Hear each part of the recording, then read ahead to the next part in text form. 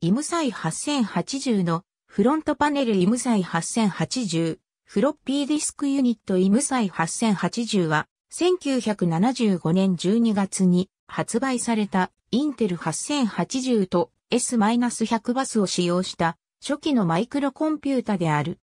それ以前に発売された MITS 社のアルタイル8800との完全互換性を有するマイクロコンピュータであり、世界初のマイクロコンピュータの互換機であると考えられている。IMS アソシエイツ社が開発、製造、販売を行った。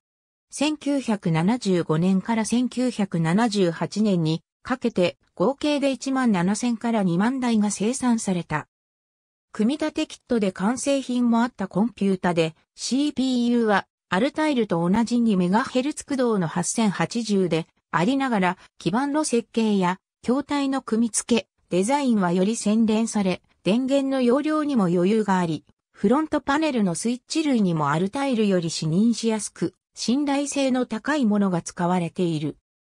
また、内部の S-100 バススロットも最大で22機搭載しており、メモリカードや SIO、PIO、フロッピーディスクドライブ、CMT、ビデオカード等の増設にも耐えたこと、またこれらのペリフェラル類が最初からオプションとして揃っていることなど、CP、M 環境を組み立てるコアとしてはアルタイルよりも評価が高く、アルタイルの欠点を潰した、アルタイルの本来あるべき姿といった評価もあった。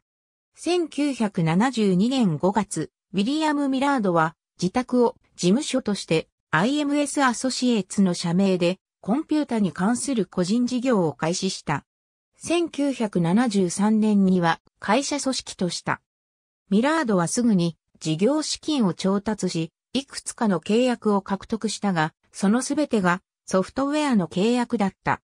1974年、IMS はゼネラルモーターズの自動車販売店向けに1台で仕事を完結できるワークステーションシステムを求めていた顧客からの連絡を受けた。IMS は端末、小型コンピュータ、プリンタ、特殊なソフトウェアを含むシステムを計画した。このワークステーションはハードディスクドライブに共通のアクセス権を持ち、小型コンピュータで制御されることになっていた。結局、この製品開発は中止された。ミラードとチーフエンジニアのジョー・キリアンはマイクロプロセッサに着目した。インテルが発表した8080は IMS アソシエイツが最初に導入した4004と比較すると本物のコンピュータのように見えた。イムサイ8080は既存のアルタイル8800の S-100 バスを使って本格的に開発が進められ、1975年10月にはポピュラーエレクトロニクス誌に広告が掲載され、好評を博した。IMS は1975年12月16日に最初の IMSAI 8080キットを出荷したが、その後、組み立て済み製品の販売へと移行した。コンサルティング会社ではなく、製造会社になったことから、1976年に IMSAI マニュファクチャリングに社名を変更した。1977年、 IMSAI のマーケティングディレクターシーモア・ I・ルービンスタインは CP/M バージョン1.3を IMSAI 8080で実行する権利のためにゲイリー・キルドールに2万5千ドルを支払った。他のメーカーもそれに続き CP/M は最終的に8ビットマイクロコンピュータにおける事実上の標準の OS となった。1979年10月までにイムサイ社は倒産した。イムサイの商標は IMS アソシエイツの初期の従業員だったトッド・フィッシャーとナンシー・フライタスによって取得され、フィッシャー・フライタス社の一部門として、イムサイの名前で、コンピュータの製造が続けられた。初期のイムサイシステムのサポートは、同社によって継続されている。1977から1979年のイムサイ VDP-40。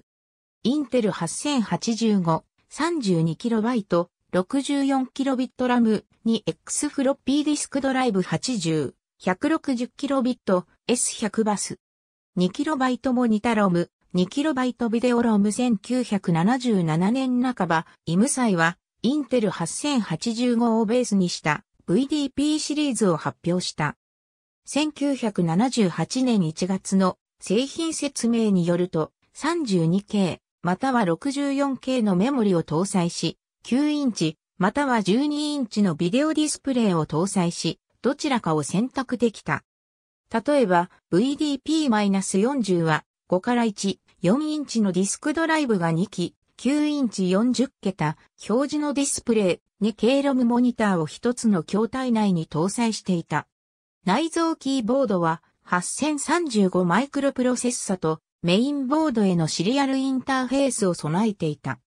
VIO、C ビデオボードには 2K ファームウェアロム256文字の 2K キャラクタジェネレータリードオンリーメモリ 2K リフレッシュメモリが搭載されていた。1978年1月に VDP80、1050は1920ドル、VDP-40、64は7466ドルで発売された。1983年の映画、ウオーゲームで主人公が使用したハッキングツールは、イムサイ8080に音響カプラ型モデムを接続していた。ただし、原作ではアルタイル8800だった。アーネスト・クラインによる2011年の小説、ゲームウォーズでは、終盤の重要なアイテムとしてイムサイ8080が登場する。ありがとうございます。